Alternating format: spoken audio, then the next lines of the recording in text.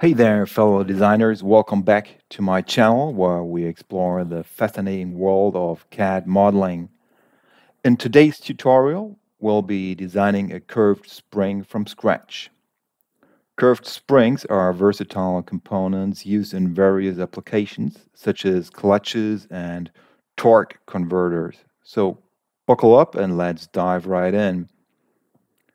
If you're enjoying the content and want to see more videos like this, don't forget to hit that subscribe button and turn on notifications. Your support means a lot to me and it helps me continue creating content that you love. If you have any questions, please let me know in the comment section. Thanks for watching and welcome to my growing community. Okay, so this is our spring. And we will need one command that doesn't exist yet here our, on our toolbar. I will start with an empty file and go to this plus, add custom features. Sign, click that, and write um, spline expansion. So that's a search, and I'll take that first search result and take that first um, item here, 3D spiral, and take that. So the custom feature 3D spiral was added to your toolbar. All right, where is it? Right here. So now let's start sketching and I will sketch on that front plane.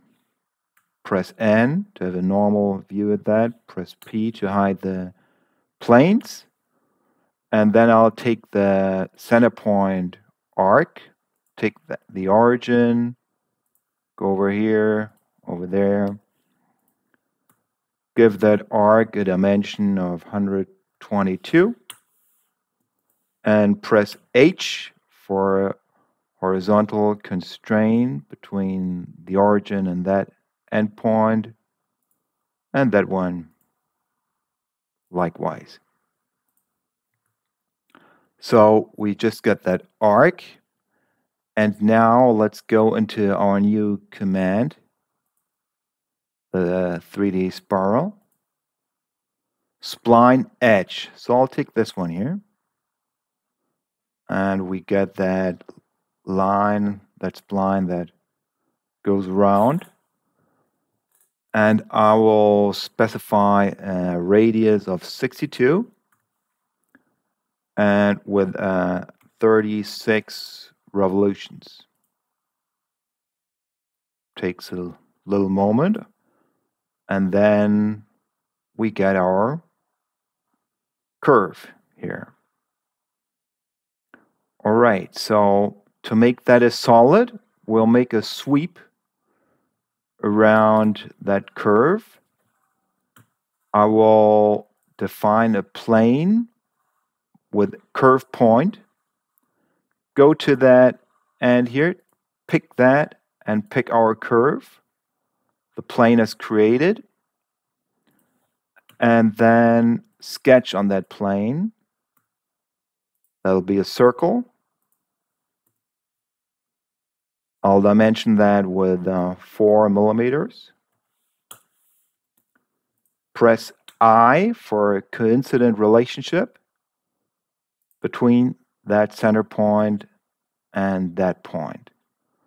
Accept that, hide that plane, go into sweep, a solid sweep of our circle, and the path is our curve.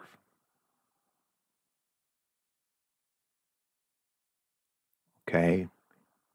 Needs to need to calculate that for three seconds. I think that's okay, huh? And there you have it, our curved spring. I hope you liked that, and I talk to you soon.